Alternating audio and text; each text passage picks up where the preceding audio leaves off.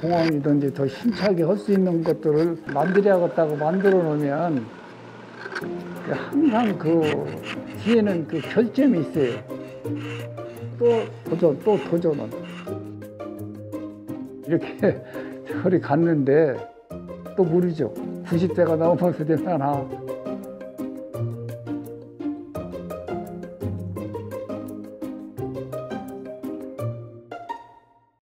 벼루 제작의 가장 중요한 것은 원석입니다. 원석을 구별하지 못하면 좋은 벼루를 만들 수가 없습니다. 끓는 것은 벼루가 먼저 갈리고 탄다는 건또 목이 안 갈립니다.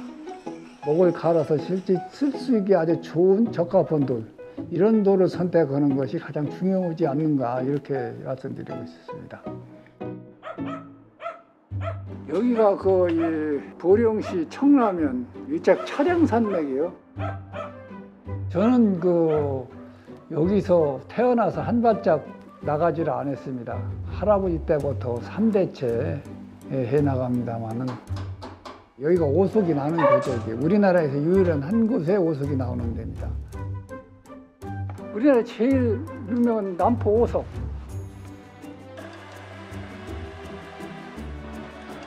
오속 나오는 부대계에서 백운상석이 나오는데 이것은 뻘하고 은빛 나는 모래하고 이렇게 섞어서 지층의 압력으로 굳어진 거거든요. 촬영산맥의 백제를 넘어서 또 500곳이 또 올라가서 백운사라고 고찰이 있어요. 거기서 백운상석을 한 거죠. 흰백자 구름문자 백운이거든요. 흰 구름이 묵혀져 있는 문양이 나오는 거예요. 이걸 탭을 해보니까. 목이 곱게 갈리고 먹물이 한 15일 이상 가고 옛날에는 그 가공할 수 있는 시설이 없기 때문에 어려웠었는데 지기로 지는 사람이 얼마나 지겼습니까? 이런 돌을 가공할 시기가 언젠가는 있겠다 하는 시기를 항상 눈여겨보다가 중기차라든가 포크링 문명 혜택으로서 꿈은 어려서부터 가지고 있던 것을 내가 이룬 것이다 이렇게 생각하면 됩니다.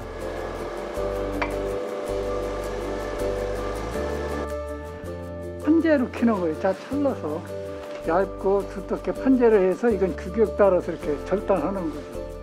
용도대로 이제 조각실에 가서 그려가면서 조각을 하는 거죠. 지금 이게 어디 가는 사람은 잘 못 들어 이거. 나는 이게 번쩍번쩍 들려. 예, 젊어서 지금까지 계속 돌을 들어버려 돼가지고 80 하나인데 이런 것 정도는 그냥 번쩍번쩍 들려요.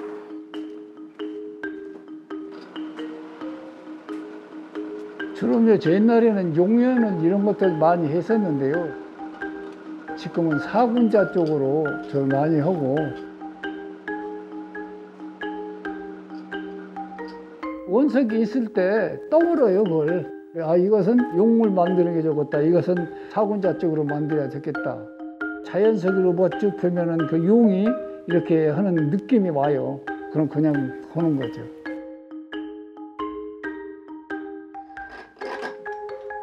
그림은 건성이로 외곽만 잡는 거예요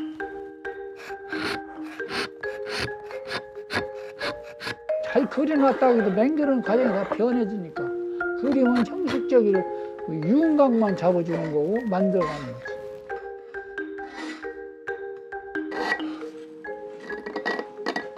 그렇게 해놓고 만들어가는 과정에서 대구 변화가 오는.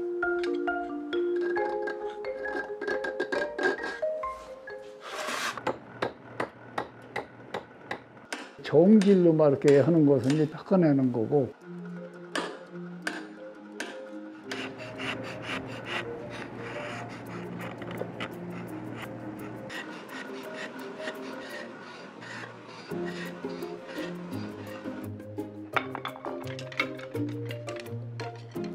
도구가 이게 많은 게 뭐냐면 펑퍼는 거 있잖아.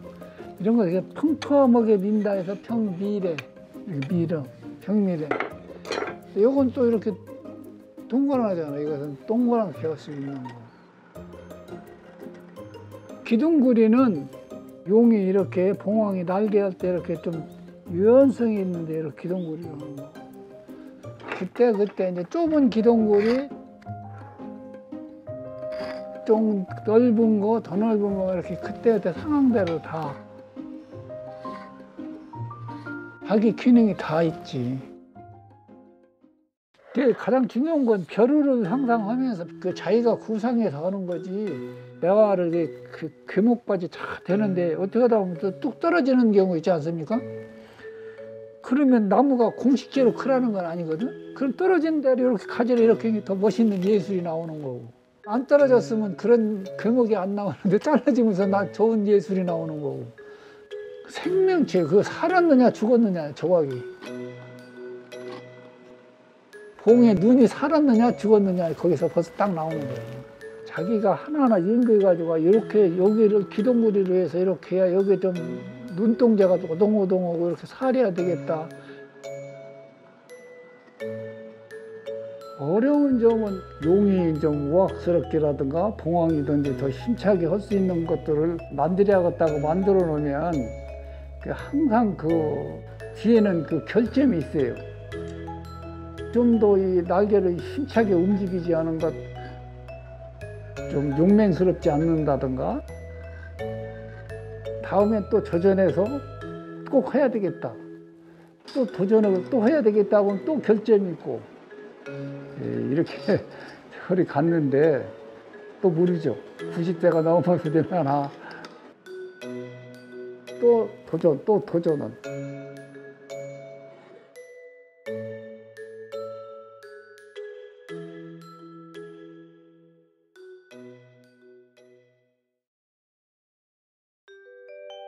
기록은 이제 이 소장자들에게 명단을 다 기록해 놨어요. 아, 그 누가 가지고 소장돼 있다라는 것을 지금 5천 한 900개 정도는 있습니다. 천만 원도 넘, 넘는 것도 많이 있고 그래요. 이제 결국 그 써본 분들이 그 좋다고 평을 해야 가장 중요한 건데 근데 지금까지는 좋다고 평을 많이 하니까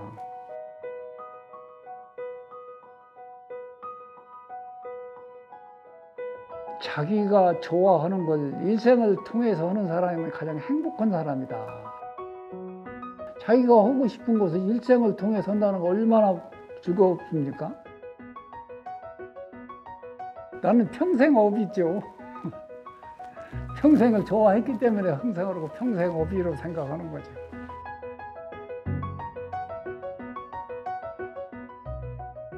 결과적으로 건강을 허락하는 한 예, 내가 100% 마음이 드는 작품을 만들고 싶은 그 욕망이죠.